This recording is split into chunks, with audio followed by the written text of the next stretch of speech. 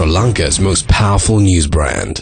දිවයිනට පැමිණ සිටින බ්‍රිතාන්‍ය රජපවුලේ සමාජකයින් වන වෙසක්හි ආධිපාදවරයා හෙවත් එඩ්වඩ් කුමරු සහ සොෆී කුමරිය අද ඓතිහාසික මහනුවර ශ්‍රී දළදා මාලිගාවට පැමිණ දළදා සමිඳුන් වැඳ පුදා ගත්තා. වෙසෙක්සි ආධිපාදවරයා හෙවත් එඩ්වඩ් කුමරු සහ සොෆී කුමරිය ලංකාවට පැමිණියේ හැත්තෑ වන නිදහස් සමරු උළෙලට සහභාගිවීම සඳහායි. ඔවුන් අද පස්වරුවේ පේරාදෙනිය රාජකීය උද්භිත උද්‍යානයේ නිරීක්ෂණ චාරිකාවකටද එක්වනු ඇති.